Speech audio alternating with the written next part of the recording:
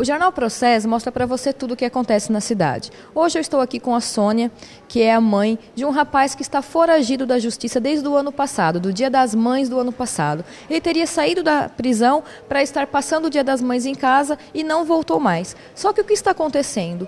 Segundo informações da Sônia, ele está ameaçando a vida dela e dos filhos dela, que está causando alguns transtornos. Nós vamos conversar um pouquinho com ela agora. Sônia, fala pra gente o que está acontecendo. Olha, Bruna, eu tive na casa da minha tia, que mora na Buscardi.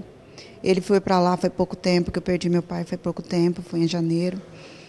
Ajudei ele na medida do possível, quando ele estava preso com mantimento, tudo que quem tem, quem vive esse problema que eu vivi, sabe do que eu estou falando.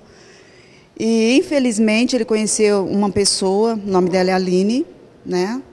É, e onde ela veio falar com ele, ter um compromisso com ele e fortaleceu ele de não voltar para a prisão. Então eu fui contra, né? Tanto é que eu não aceitei ele na minha casa e ele foi morar com ela. E agora que ele foi lá para a casa do meu pai, né, que onde meu pai morava, na Buscardi, ele começou a ser estúpido com os meus filhos. Aí eu fui perguntar para ele o que estava acontecendo. E ele foi estúpido comigo também. Usou de agressão verbal. Aí eu repreendi ele com agressão física. Ele revidou em mim, entendeu? Me bateu, saiu correndo, jogou pedra no, no vidro traseiro do meu carro. Aí eu fui na casa dele, erradamente também, acabei quebrando umas coisas dele.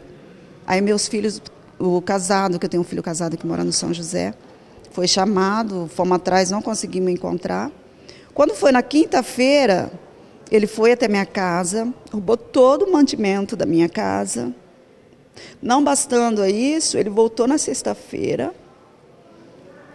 entrou, invadiu minha casa, quebrou tudo dentro da minha casa,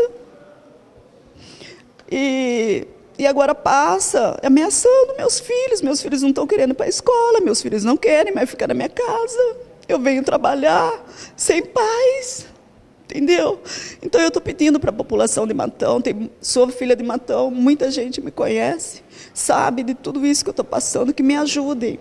Esse daqui é o Diego, o nome dele é Diego Alves de Lima. Aonde é que vocês virem ele, por favor, denuncie, entendeu?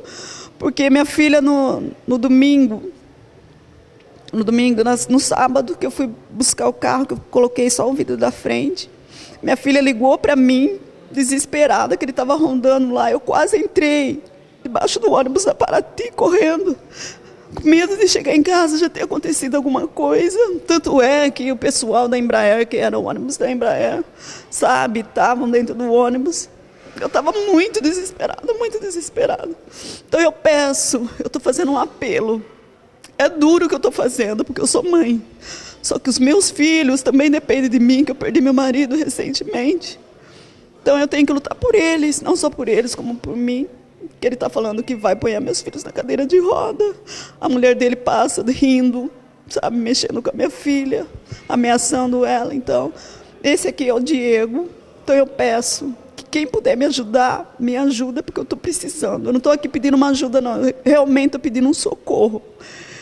Porque está sendo muito difícil, muito doloroso. Mas eu acho que é o correto. Muito obrigada, Sônia. Então, quem tiver qualquer informação do Diego, é só acionar o 190. Bruna Pique para o boletim informativo do Jornal Processo.